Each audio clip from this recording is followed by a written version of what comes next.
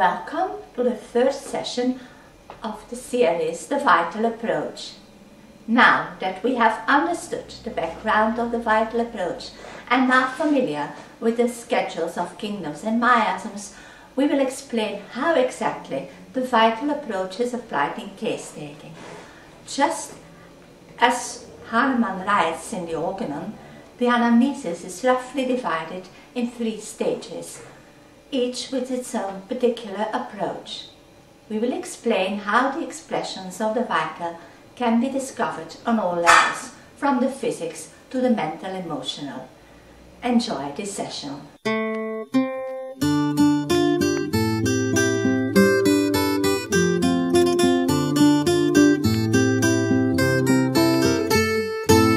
Anne, in your explanation on the vital approach, you talked about the levels. You said you now work with the levels. I wonder, did this have a big impact on your anamnesis technique? And can you tell us if this anamnesis technique changed a lot over the years? Oh, it sure did. Eh? Um, I was trained in a classical way. This means with organon and uh, with recommendations of Hahnemann, uh, who says, as you know, that for um, that uh, prescriber uh, needs uh, a lot of common sense, uh, a good knowledge of the human nature, uh, a lot of patience, and he needs fidelity in tracing the picture of the disease. Then, this was the theory. Then I saw a lot of uh, masters in homeopathy in seminars actually showing their cases and, and doing their analysis and practice the way it should be done. And then later I, I trained students and um, we, we, we taught them not to use the questionnaires that we used to use in the beginning because there were uh, almost books with 50 or 100 questions, I don't know, and the advantage at that time um, was so-called the, the, the reason why it was given, that the patient would think about the possible questions because a homeopath can ask a lot of questions. And um, that you don't have to ask them during consultation, but of course you have to read them afterwards. The disadvantages were more important. The um, had to be an individualizing um, research for the core, and then we gave the patient all the same questionnaire, which was a bit contradictory. So we told them not to uh, use the questionnaires, but to follow the patient wherever you wanted to go and observe um, very accurately and not uh, put any leading question, no suggested questions, only open questions. And all this is still accurate uh, until today, but of course my clinical experience was added to it. Okay, so your, your clinical experience led to uh, more uh, or better techniques in analysis, but you didn't uh, use the vital approach in the beginning. No, no, no, of course not. No, the vital approach is kind of new, maybe, I don't know, since seven years or something. I, I use this expression because I feel, I told you, it's a blend of my personal experience and, and, uh, and style, and I can't use the, uh, the name of my masters, uh, of course, who learned me everything ex- except my personal uh, addition. So in the beginning, classically trained, uh, I tried to, as every homeopath did at that time, to find the totality of the symptoms, which was the whole picture. What we did was then extract as much information as we could from the patient, then um, use these symptoms in of pour them into rubrics and then make a repertorization and then give uh, the most of the best matching remedy. If, what, if it was not possible to find a totality because the patient wouldn't give you anything else, he only would talk about pathology or he was a bit reluctant to talk about himself, then we used generalities, modalities, and if we had them, the keynotes. This was what we did. Then later, Vithoulkas came, I'm talking of the early 80s now, with this idea uh, of the essence of the patient, like a broader picture, an, an overall personality uh, description of the patient, not a, a, a loose bundle of um, uh, rubrics and symptoms, but a person of flesh and blood. So it was much more fun. We could recognize real persons like your mother-in-law and your neighbor, and we could see them in our remedy pictures. And then later, uh, in the 90s, let's say, Sankaran came with this idea of his basic delusion, which he found in the classical books in our repertories, but he saw more in it than we did, which is uh, genial. And he saw the the reason behind the behavior, or he was looking for the emotion behind the emotion, and came to the delusion, the unconscious conviction, and and this was um, let's say a deeper understanding of the same thing. And then the outcome was it different then of your uh, analysis? But the outcome depends on uh, what the homeopath is looking for in the first place, and uh, and, and the skill of the homeopath in the second place. So um, I have a blog where I uh, wrote uh, a extended introduction on philosophical matters because I think it's very important to to explain, to know, to be aware of your worldview, your inner map, eh, in order to to be aware of your definitions, the content of your definitions, because your definitions will determine what you are looking for. Hmm?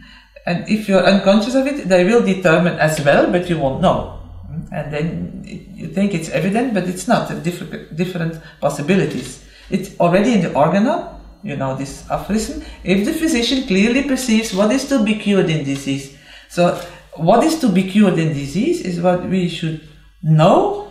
Eh? What are we trying to cure? It, it looks evident, but it's not so so simple.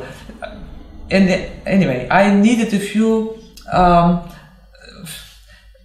pages, maybe 20, to explain what is behind, um, what is happening in the homeopath's mind, eh, in his uh, uh, conscious awareness of what he is looking for. Because if we, this is the first condition, if we don't know what we are looking for, how will we know when we found it? Eh? So that's the first thing. Then the, the skill of the homeopath is of course important, but that will improve by time and, and by practice. That's normal. The most important is knowing where you're heading. Eh? And I'm the kind of homeopath who believe in the similimum. Not everybody is looking for the similimum, but I always did. Trying to find the best remedy for this particular patient. And the, the, so the remedy that matches the best. Only my definition of what is the similimum uh, and is the most individual in the patient evolved and deepened throughout the years. So it actually it evolved from uh, personality oriented to vital oriented. Yes, that's what it did. So in the beginning it was Vithoulkas more. When I was trained, Vithoulkas came famous, and so we all very enthusiastically use these new insights because it was so much more fun, it was so much more um, understandable, it was so much more closer to, to your daily um, experience because all the symptoms in our classical books were symptoms of, end, of a lot of symptoms of end stages of diseases we never saw, and he brought them back to earlier stages to more modern interpretations. Yes, of course, we, we use them, but in daily practice, they seem to be a little unsatisfactory to me because we had to study hundreds of remedies and we, in the end, used maybe 30. The polycrest, the remedies that always came up because they were best um, uh, described in the books, there were most um, rubrics in the repertory, so we always came up with the same. So it was a good idea, but very limited. And then Sankaran came, and this um, basic delusion theory was much better, I found much better, but still kind of limited because even these basic delusions seem to be shared by a lot of people and were in a sense quite common. For instance, delusion is despised or delusion is looked down upon or delusion is abandoned. A lot of people seem to have this and then we came up with the same uh, remedies. Um, and a lot of remedies, of course, we now don't have delusions. There are no delusions in the in the repertories, uh, or they're not complete rubrics, and we always limit it to the five or six who are listed. You know this. So then, when the uh, vital uh, sensation uh, theory came up, we had a broader concept, which, by the way, brought back the body into the anamnesis, because the delusion prescriptions were almost exclusively on the mind, which was uh, criticized, right, rightly criticized, because it should be the totality, and now we were focusing almost only on the mind, and it was understandable because in the hierarchy of symptoms, the mind is deeper or is more individual than the body, but the body, bodily symptoms, most often the reason why the patient visited us, were completely disregarded. And with this vital sensation concept, it came back in. And then we were again in line with Hahnemann, who says, you know, that this dynamis eh, expresses itself by signs and symptoms on mind and body. So this was good. Was it a big step from delusion to the vital? No. In my case, it came quite naturally um, because many so-called delusions were vital sensations anyway. For instance, um, we have the delusion being fragile, made of glass, you know, Thuja, or we have the delusion poor, which in many cases uh, is a is a common sensation of all the fourth row minerals, eh? or we have the delusion shattered, and actually this is a sensation. So now we could differentiate. Eh? It was a step forward to this uh, whole group of uh, symptoms who didn't mean the same thing to be able to discern different levels. Mm-hmm. So, but how do you know the difference? That's a good question. As I said in the lesson on the levels, eh, the vital sensation is not a product of the mind, but of course it translates itself uh, by the mind because we have to use words. Words is the talking, communicate, communication by words is the, the medium of the homeopath. You know, we don't touch our patients, we talk with our patients. We look at them and we talk. And talking is, is a, a mental activity. It's, it's a set of symbols that we have to process by the mind, but it's a translation of something different. So the mind produces thoughts and images and Everything that we can explain logically are products of the mind, come from the mind.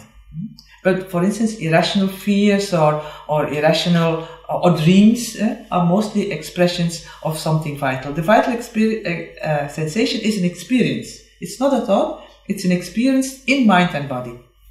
Still, it seems a very subtle difference to me. It is and it is not. we have to, actually, we have to question the patient and question again and again. We can question or put the same question a few times to the patient right, to know the last answer. Even if you repeat the question, more can come until the patient can say no more, the deepest, and that is the experience.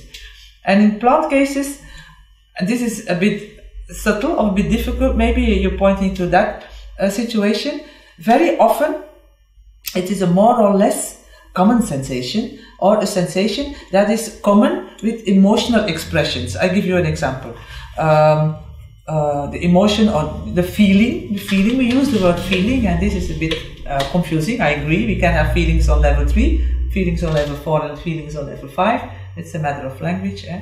In, in Dutch, for instance, it would be very funny to to say experience, we would say feeling, and still we would mean uh, the experience on the fifth level. So you can have the feeling of being hurt, of feeling shocked, of feeling obstructed, or the patient can talk about violence and we think it's story, or catastrophe and we think it's story, and still uh, it is sensation. It is not emotion in that case because emotion comes with a thought. For instance, something happened, you were criticized, and you feel not good enough. Eh? Or you, you were laughed at and you feel embarrassed. That's a feeling that an emotion that comes, a feeling that comes with a happening, something that happened, and then you think something, you feel something. You were scolded, and in return, you feel angry. Hmm? So it's not an emotion, whereas the vital? The vital is all levels, all of the time. Yeah, you know, emotion is only level three, hmm? and it comes very often. It comes from level four, but all levels, all of the time. I mean, it is in the mind, it is in the body, it is throughout time, when the patient tells of his childhood uh, uh, stories and memories, it will be there. It is at all levels pathology, energy level, emotion, uh, mental level. It is at all his stories and anecdotes and all the happenings in his dreams and his hobbies and his fascinations. It will always be there. The vital sensation will uh, uh, will always be found, not always in the same word, but then it will be a synonym of the same thing. So that's why you have to confirm on several levels. Uh, at least three times, then you're sure. Otherwise, you don't know. Maybe you have a local sensation. Oh, you can have a local sensation. What is this? Yes, we have local sensations, of course. This means when uh, the sensation, the experience is only felt on one level, or only in one story, or for instance, only in the pathology. I'll, I'll give you an example. This will make it perfectly clear. So let's say the patient has eczema. And you ask questions, how is your eczema? How do you feel with this eczema? What is the impact of the eczema on you? You know, all, all other questions that we, uh, open questions we have to ask about this chief complaint. And the patient, for instance, says, well, it's, it's itchy and I'm scratching and, and I'm always disturbed by it and it's so irritating, it's so irri- uh, how to say, uh, Irritating? irritating, yes. And, and then you think, oh, maybe it's, it's uh, violalis because that's anger when disturbed and, and a lot of irritations and impatience and, and then you go through your whole analysis and nowhere you can find this irritation or this anger or this aversion to be questioned or disturbed. So it's a local sensation. It's only in the eczema. It's not in the patient. Or it can be only in one story. For instance, the patient tells you, um, um, I have stress, hmm, which is very common, and you ask the patient, yes, tell me a little bit more about your stress. What is the problem? And he says, oh, my my work. I have a colleague, and, and she's really awful, you know, because she's trying to um, criticize me all of the time, and and uh, I feel so attacked, and I don't know what to do with her because it's a territory fight because it's my uh, office, and and, and she takes more than. Um, than she should, and, and I have to defend myself all the time, and it's an ongoing fight, and you think, mm-hmm, eh, animal kingdom, because she uses all the words. But if there's no hint to animal kingdom in the chief complaint, and there's no hint to any uh, in any other anecdote or any other story or any other dream of an animal kingdom, then it's local. That's a local sensation. The local sensation in this patient is I have a fight eh, and I have to defend myself against attacks. But this is the story. We all have fights and we all feel attacked now and then, and that's, that doesn't make us belonging to the animal kingdom. This can be very localized, realistic story, and then it's only level 3, it's not level 5. So unless we can find it on different levels, we can confirm it in different stories, different anecdotes, we're not sure. Could be animal, but we're not sure until it's confirmed. Thank you for all these general um, outlines of how you have to conduct an anamnesis. Perhaps now we go into detail into uh, the schemes that you have provided us with. So um, I can see the first step is uh, about defining the territory. Yes, the first step, because more or less, all anamnesis, more or less, have this structure.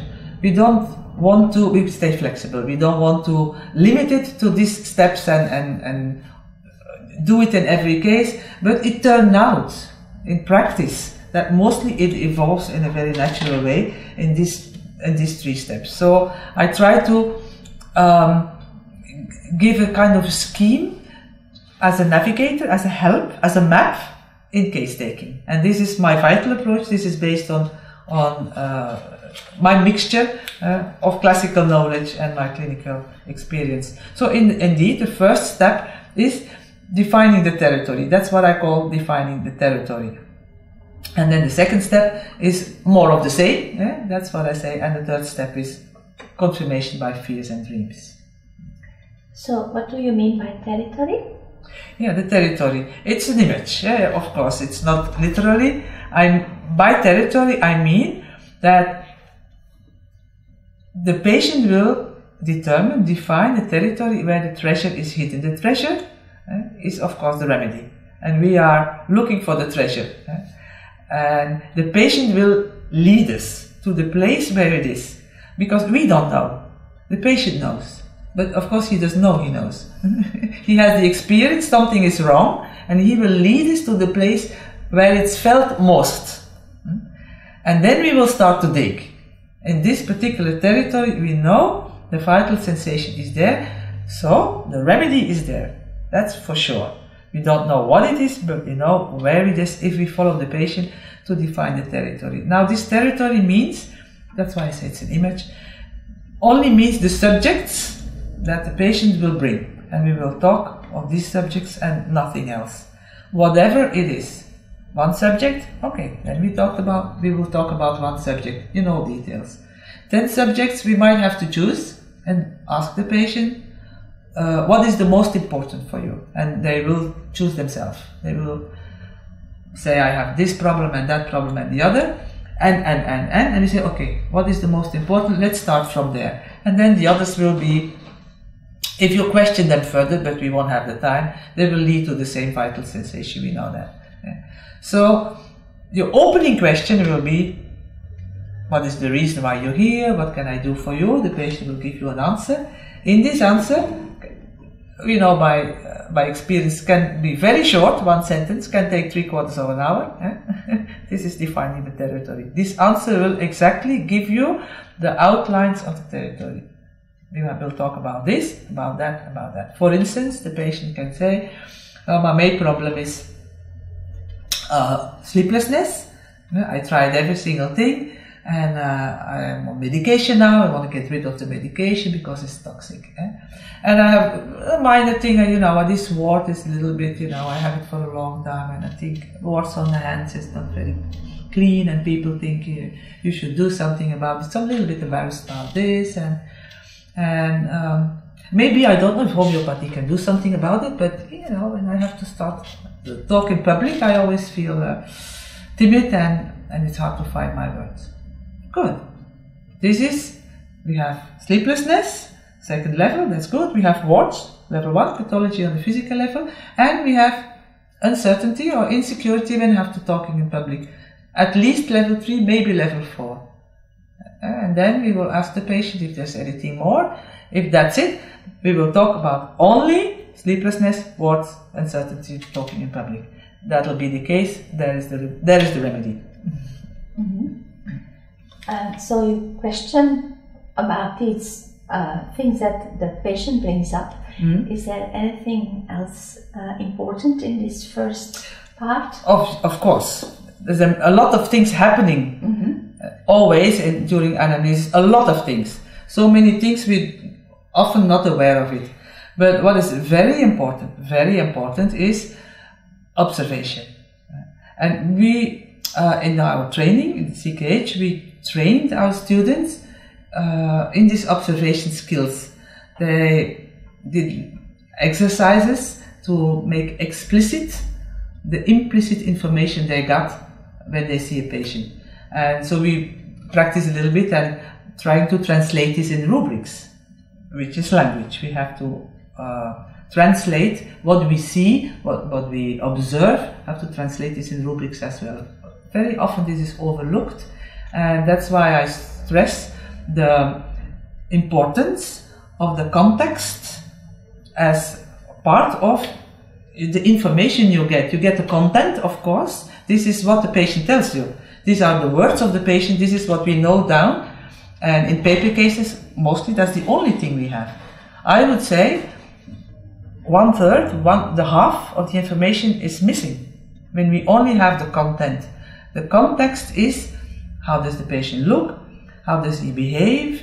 How does he talk? What impression does he make on you? How does he evolve throughout the case? So it is the way the information came to you. Was it fluent? Was it quickly? Was it uh, was it with reluctance? Did we, did we have to push a lot? How did the patient uh, uh, move? All this information we have to bring into the final analysis. And this happens from the first second the patient walks in.